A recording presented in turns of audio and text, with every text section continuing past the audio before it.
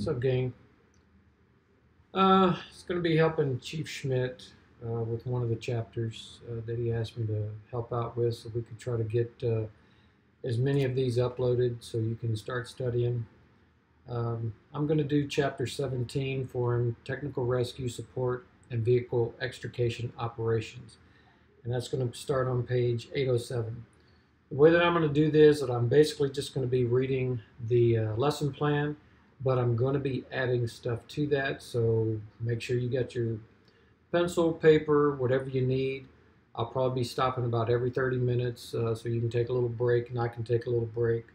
Uh, but hopefully we'll get through this fairly smoothly. Hope everybody's being safe, you know, social distance, uh, all that good stuff. Uh, I'm really hoping by the end of the month maybe we can get back in and start doing some skills but that's not our call. Uh, but as soon as we can get in and start doing skills, hopefully we've pretty much front loaded everything, got all the lecture done, so it's just going to be a lot of skills. So get ready for that. All right. Page 807, assistance at technical, uh, technical rescue incidents. Uh, for you guys, uh, when you get turned out, they do have a medic unit at Station 3, and that is our main rescue station. They did start this past year Station 4, which is going to be uh, considered a Southside rescue, but the main hub is Station 3. The guys at Station 4, this is something new to them. Uh, they're still doing training. Uh, Station 3, they have a lot of veterans there. Uh, some of you are going to get assigned to the medic unit at Station 3, and so you guys are going to be involved and working with them and doing some rescue operations, uh, extrication operations. So hopefully uh, somebody gets over there and gets some of this knowledge right here. all right, first of all, this is a firefighter 2 section. So remember that. This would be a firefighter 2. A firefighter 2, and here's a key part, may assist with vehicle extrication operations and work with specialized technical rescue personnel. So assist is going to be a key word to uh, working on some of these rescue incidents. All right, assistance at technical rescue incidents. Assistance takes two forms, initial actions performed at any rescue scene and tasks related to a specific incident type. First responders to each of the scene must perform the following critical tasks. Size up the situation, communicate information, stabilize the situation, stabilize the victim, establish scene security. So NFPA 1006 identifies types of rescue incidents. Confined space, trench, structural collapse, vehicle, surface water, swift, uh, swift water, surf, and dive. Also ice, wilderness. You can have cave, mine, and tunnel rescues, which are basically similar, very similar to a confined space, and other specialties, which you can have animal, technical rescue, helicopter, watercraft tower. You may assist with any of these rescues as assigned. You should be familiar with each of them. So here's something that's key right here. Never attempt to perform rescue tasks for which you are not trained, qualified, or equipped. Remember that.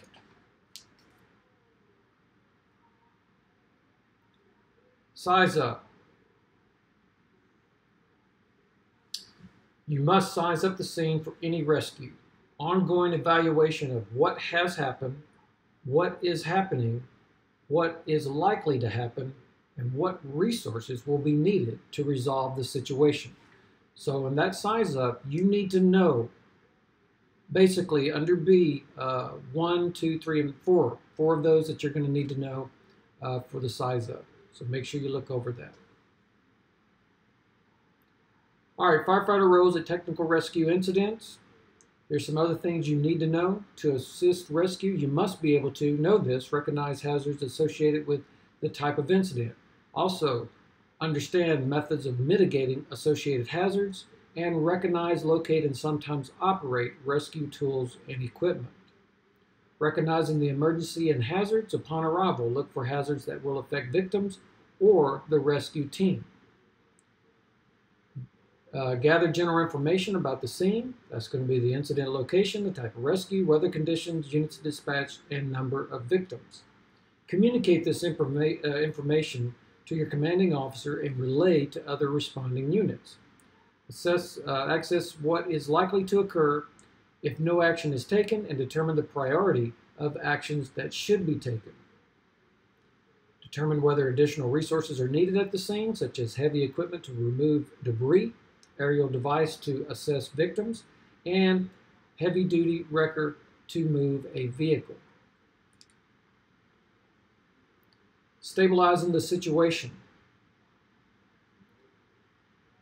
Preventing it from getting worse. So you need to understand that stabilizing the situation is going to involve diverting or blocking traffic, shutting off utilities, suppressing fires that can affect rescue operations, and incidents involving machinery that may require the equipment remain on until an expert determines that it is safe to shut it down. So those are some things you need to know.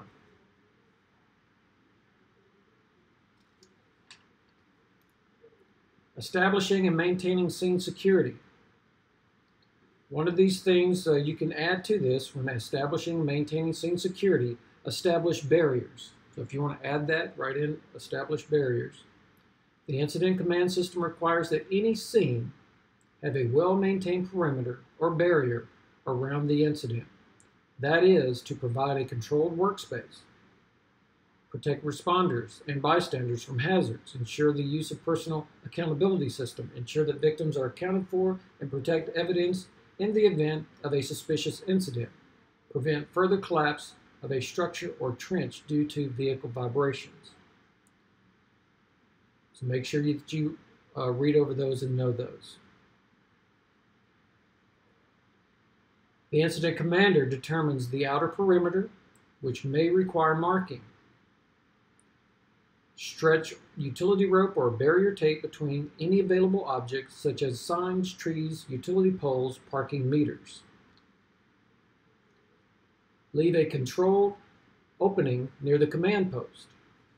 An accountability officer will monitor this entry point. Make sure you know that. Another opening may be necessary to provide access for ambulances and other emergency equipment. Okay, incident scenes is typically divided into three control zones. We need to know these three control zones, hot, warm, and cold.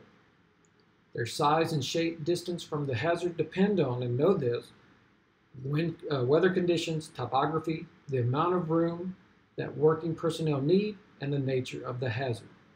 So let's get into what the hot zone is. A hot zone, another word that you might hear for a hot zone could be an exclusion zone. Most critical area of the scene, know that, includes the site of the actual emergency. To limit crowds and confusion, only personnel directly involved in resolving the emergency are allowed within the hot zone. Make sure you know that. Know this, personnel must sign in to the personnel accountability system. Now, no, add this. This is also accountability system is a control access. You're, you're able to control the access to the rescue scene. Control the access to the rescue scene. Wear PPE designed for a specific hazard be trained to manage the situation. Warm zone. Know that it stands immediately, it is right outside the hot zone. Access is limited to personnel directly supporting work performed in the hot zone. Know that. All personnel must be in full PPE and ready to enter the hot zone. Know that. Uh, when we get into hazmat, we're going to basically call the warm zone the decontamination area. The cold zone is furthest from the incident. Access is limited to emergency personnel. The outer boundary forms the crowd control line for the public. After the scene has been stabilized, the next priority is to provide basic patient care to accessible victims. Do not take on personal risk attempting to access a victim that requires the skills of a qualified technical rescuer. Know that.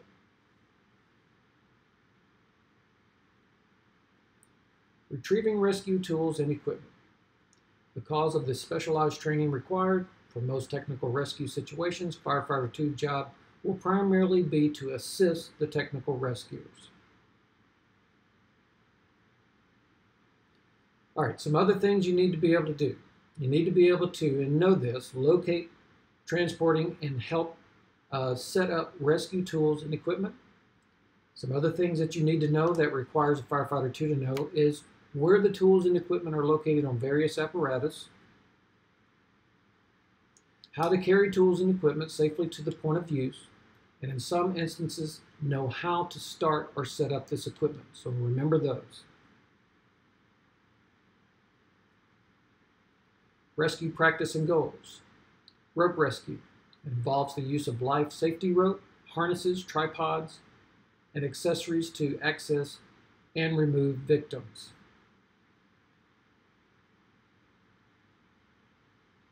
Make sure you understand that term of rope rescue.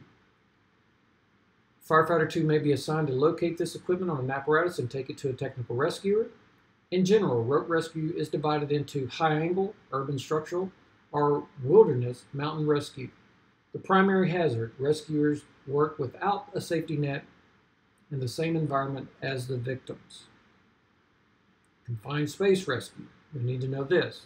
Occupational Safety and Health Administration defines confined space as, know this, large enough to enter, has limited means of entry and exit, and is not designed for continuous occupancy.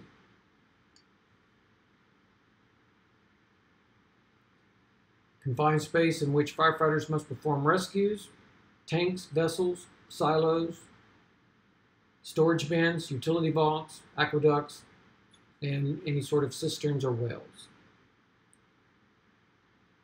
Now, whenever you're doing any sort of rope rescue, confined space rescue, those sort of things, especially when we get into basically the rope rescue part of it, I want you to make sure that you know what type of harnesses that you might be using. So a class one, a class one harness, if you don't have this written down, make sure you have it. Class one harness would actually be a seat, sort of a, it'd just be a seat harness. A class two harness let me back up. Class 1 harness, seat harness, non-rescue, non-rescue. Class 2 harness, which is a seat harness for rescue, and a Class 3 harness is a full body harness used for rescue. So 2 and 3 used for rescue, number 1 is not used for rescue, Class 1.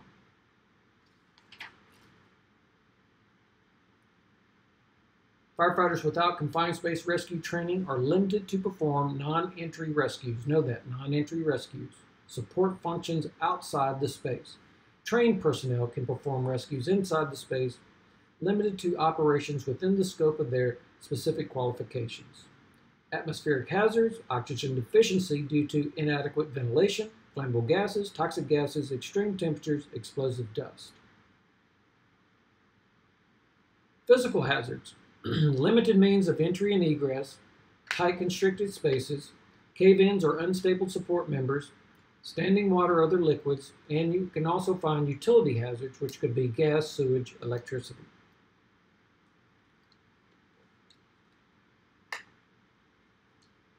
Some valuable sources of information.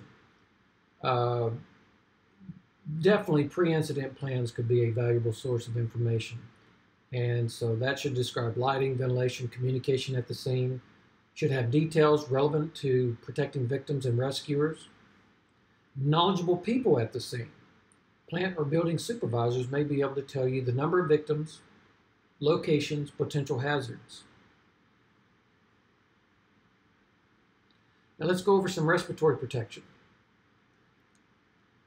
Rescuers may not be able to wear an SCBA because of space limitations. So let's, let's talk about a supplied air respirator, a SAR.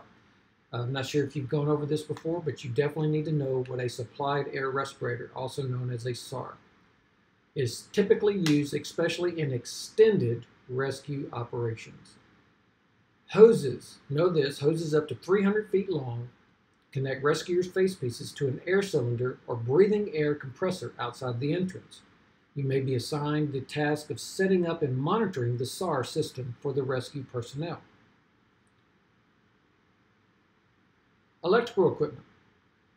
You may be assigned whether it's flashlights, portable fans, portable lights, radios. Those are some things that you might be assigned to get, uh, maintain.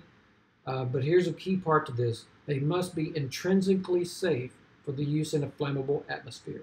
That means they will not create a spark. Also know this, that the backup team qualified for confined space operations must be standing by while rescuers work inside. Remember that. Trench rescue. A trench is defined as an excavation narrow in relation to its length made below the surface of the earth. Know that. Also know that a trench is deeper than it is wide. Excavations of 15 feet or narrower can be considered trenches. Teams must be skilled in shoring, stabilizing the trench walls. So here's a term that you need to know shoring. Shoring is stabilizing a wall. Can be used in trenches, whether you're building breakers by shoring and you're stabilizing the walls, or it can also be used in uh, whenever you have building rescues where you think the walls aren't stable, you can shore those walls, but it actually means stabilizing. So here is the term that you need to know for shoring. Shoring is strengthening a wall to prevent further collapse. Strengthening a wall to prevent further collapse. Remember that term. When assisting, the firefighter will most likely be assigned to monitor the hazardous atmosphere, create a safe zone around the trench. Know this, vibration can cause a secondary cave-in.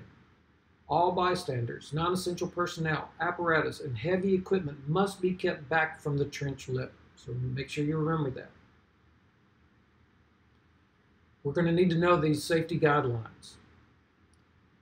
Trench rescue safety guidelines. Know this, do not enter the trench.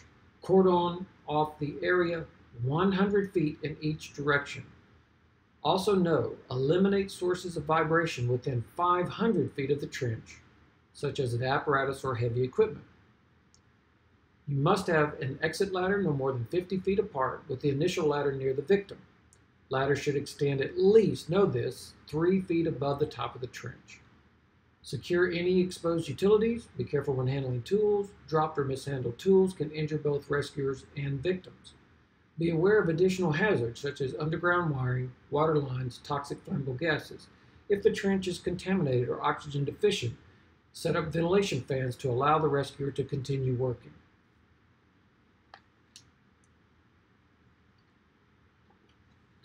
Structural collapse rescue. Structural collapse may be caused by fire, weather, earthquakes, explosion. Uh, it could just be by deteriorating of the structure itself. Know the first priority. The first priority, help untrap victims to a safe area. So your first priority is, you, especially if you have ambulatory untrapped victims, is you move them first and get them out of the way. Next priority is extricate victims who are trapped by collapsed debris. So that would be your next priority. After these victims are taken care of, technical rescue teams attempt to rescue victims trapped deep, uh, deep beneath the rubble. To assist the rescue teams, you must be able to recognize different collapse patterns.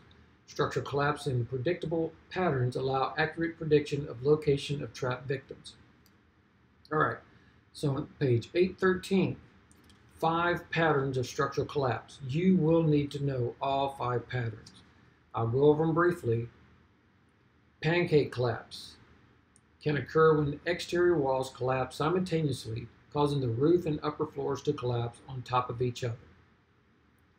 Least likely pattern to contain a void, which live victims may be found. V-shaped pattern occurs when the outer walls remain intact and the upper floors or the roof structure fail in the middle. This offers a good chance for a space that could be created along the outer walls in any space that maybe a void space is definitely a place that you may have survivable victims. Lean-to collapse occurs when the outer wall fails while the opposite wall remains intact. That can form a triangular void in which victims are likely to uh, survive. An A-frame collapse occurs when the floor and or roof assemblies on both sides of the load-bearing center wall collapse. Victims have a good chance of surviving with the void spaces on both sides of that wall. Cantilever collapse. This occurs when one or more walls of a multi-story, that's a key part, multi-story building collapse, leaving the floors attached to and supported by the remaining walls. That's another place you have a good chance of habitable voids. But you also need to know that for a cantilever, that, that is the most vulnerable to a secondary collapse. So make sure you know that.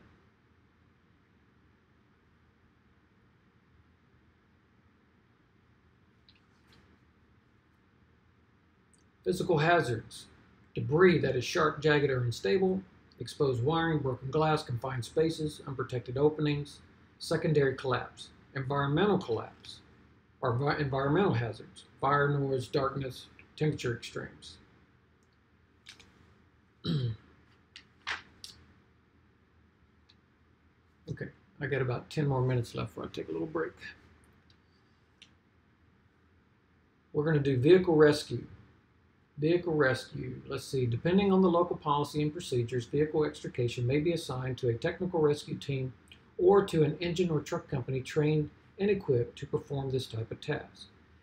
If the firefighter is not a member of a unit trained to perform vehicle, vehicle extrication, he or she will assist the rescue team members in, know this, setting up equipment, providing care to victims, standing by with a charged hose line, any kind of vehicle uh, rescue extrication work you're going to do, a charged hose line will be on the ground. And here's another big one providing a security barrier. One of your skills that you're going to be doing, hopefully, when we get back, and this is one that has been on the state test that I've noticed, is uh, basically uh, you have to be, uh, uh, set up a barrier, hose line down, and identify the scene that you're going to be working around. So that's one of the skills we'll be going over when we get back. Wear correct PPE when working near the, damaged vehicle, which is going to be full PPE, probably minus an SCBA. And here's a big one right here. Always wear approved retro-reflective vest if you are not engaged in fire suppression or extrication. Make sure you have that down. Water and ice rescue. Water and ice rescue operations include the following conditions. Ice, surface, dive, swift water, surf locations where water rescue may be required, swimming pool, ponds, lakes, rivers, streams, shoreline, swamps, so forth and so on. All right, let's need to know this. First task during CISA, determine whether the incident requires a rescue or recovery. Make sure you know that. A rescue is a victim may be saved. A recovery, the victim has been submerged for a long period of time and has died. The main goal is to recover a body. So when we get back, we go back to risk versus benefits. We will take a greater risk for a rescue. We will not take any risk for a recovery.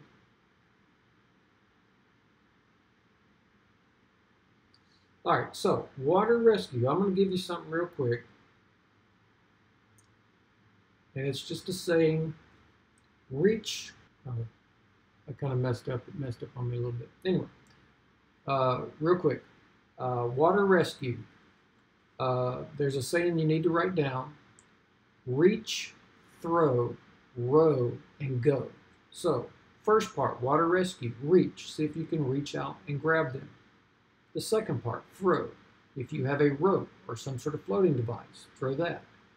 Row. If you have a boat, kayak, something of that nature, you can go out and try to get them in that vessel. And then the last part would be go. And that would be you swimming out there to get them. So reach, throw, row, and go. Personal flotation devices, PFDs, life jackets, vests, and other devices that provide buoyancy to the wearer. Know this, mandatory for all personnel entering the water working within 10 feet of the water's edge, know that. or riding on a waterborne craft. Must be U.S. Coast Guard approved Firefighters assisting the rescue team may wear structural PPE for warmth. They should not approach the water's edge. Structural PPE can quickly become waterlogged and pull you under. So if you have on full PPE, make sure you do not get close to the water's edge. Hazards that you should describe in the situation report. Undercurrents, unstable or slippery soil, debris, sinkholes, quicksand, sharp rocks, extreme temperatures. Ice rescues.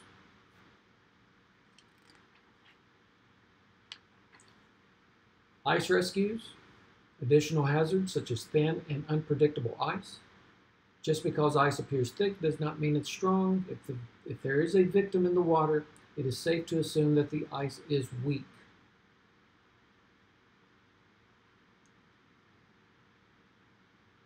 Victims are unlikely to uh, be able to help with their own rescue. Their hands are extremely cold and possibly frozen.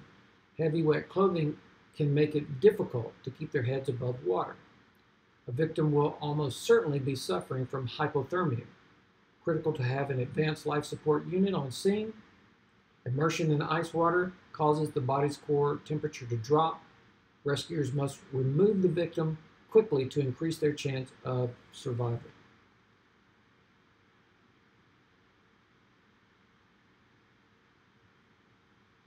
Low head or low water dams. Extremely dangerous for victims and rescuers. These dams create a pool of standing water in a river or stream. Water creates an undertow as it passes over the face of the dam, creating powerful undercurrents. We need to know that. This is also need to know. It is commonly called the drowning machine. The hydraulic action of this dam is virtually impossible to escape. Rolling motion of the water flowing over the dam causes a strong current to return to the point of the downwash. An object can be pulled into the downwash, pushed to the bottom, and pulled to the surface by the same current and taken back into the downwash. The cycle can continue indefinitely. Victims caught in this cycle will be continually submerged until they are rescued, break free, or drown. Also, the debris trapped against the upside face of the dam, that's going to also pose additional hazards. So definitely make sure you go over low head dams and what kind of hazards that they cause and what an under undercurrent is.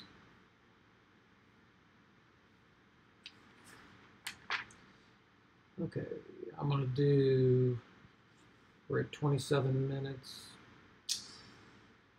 Okay, cave, mine, and tunnel rescue operations require specialized rescue training and equipment similar to that required for confined space operations.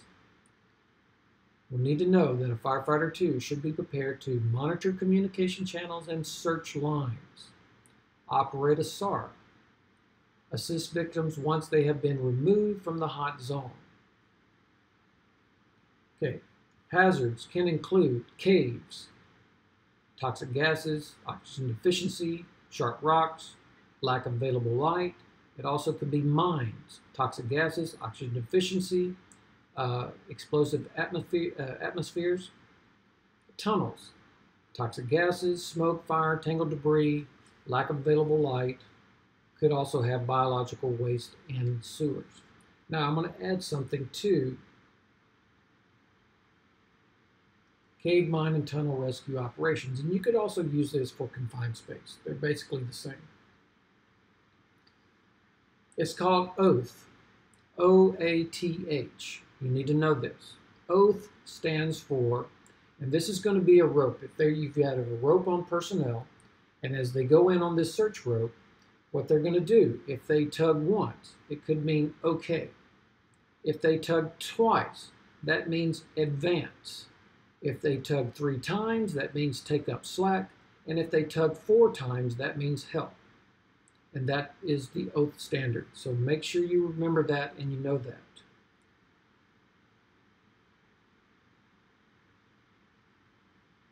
Machinery rescues, that's going to involve victims caught between parts of a machine.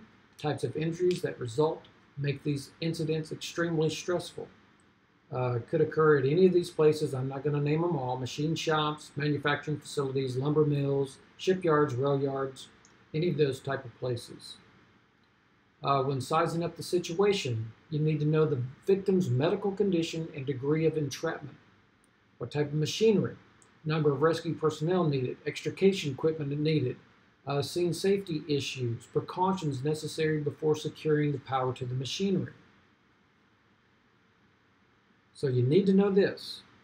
Stabilize the machinery with cribbing, chains, or heavy-duty nylon webbing, then shut off its power. Make sure you know that. And here's a key part here. You definitely need to know this. Use a lockout tagout device to, to secure the power switches. This lockout tagout could be an actual padlock you can put on uh, a breaker and lock it out. And basically, you could also use a red tag, like a tag out, something that uh, you could wrap around the breaker once it's turned off that says do not turn on. So lockout tagout.